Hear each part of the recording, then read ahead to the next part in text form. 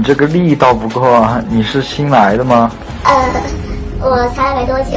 哦，你们这个要经过培训的吧？是我们都要培训。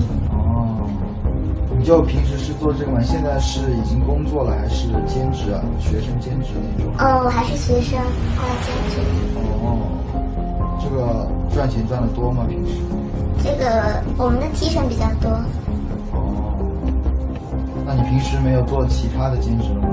嗯，暂时还没有，这个时间都比较长。哎，听说这一块好像就是洗脚城比较多，然后有特殊服务啊。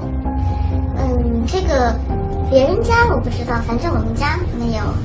但是我觉得你们家应该更像啊，就是那种你们这边的技师跟其他不一样，他们那边都是那种老梁什么的，你们这边都很年轻啊。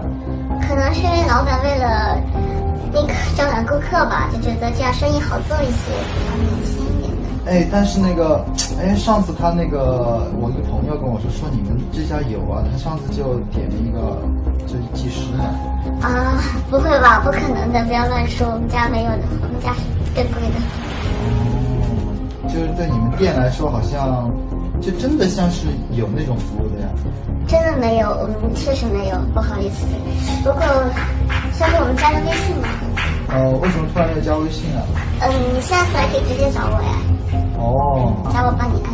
又没特殊服务，找了有什么办？没有啊，就熟了呀。那你下次就会熟练点是吗？对，然后我就可以更好的给你服务啊。好好好，你微信多少？这个是你吧？啊，对。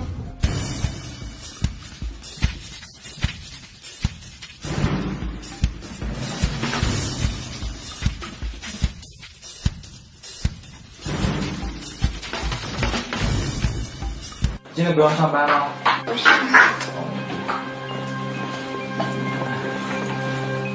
哎，帅哥。啊？你先把钱付了嘛。哦然后我去洗澡。我这个衣服准备好了。嗯，钱给你嘛。嗯，今天找你来也不想做其他事，就想找你过来聊聊天。确定不做其他事，只是聊天。对啊，就是跟你聊聊天嘛。嗯，那你就聊什么吧。你真的是学生啊？是啊，我有学生证的，这个可以放心。哦，你干这行干了多久嘛？也没多久，这行很赚钱还是怎么？也没有很赚钱。为什么我上次在洗脚城，我不是还一直挑逗你吗？问你吗？你都跟我说没有特殊服务。你之前不是也说我按的不怎么样吗？其实我也确实不是很会按。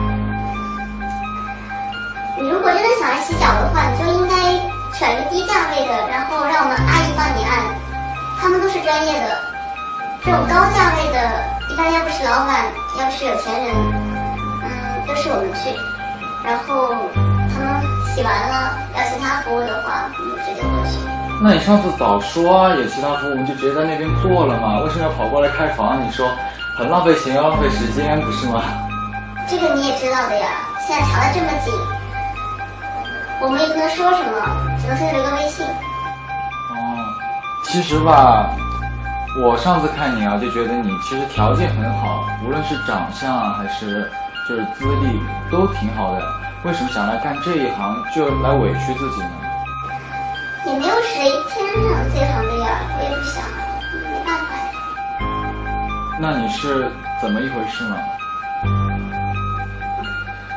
我借的钱需要我还说一下具体情况吧，说不定我可以帮你。啊。这个其实我们家是农村的，我妈之前生场大病，我把家里所有的钱都凑齐了，还是差几千块，最后没有办法，又去贷了款。我就说，像你这样的人，肯定不可能自己主动来做这样的事情嘛。嗯，现在钱就是还没有还清是吗？我还了呀，我都还了呀。可是那个利息滚的也太快了，我到最后把钱还上了，还差几千块钱的利息，然后那个老板就威胁我。啊，你你先别这么激动嘛，就是，嗯，威胁你那个是怎么一回事？你能跟我说吗？反正你都已经跟我说了这么多了，然后跟我说详细一点呀。那我就跟你说吧我我我拿那个我的聊天记录给你。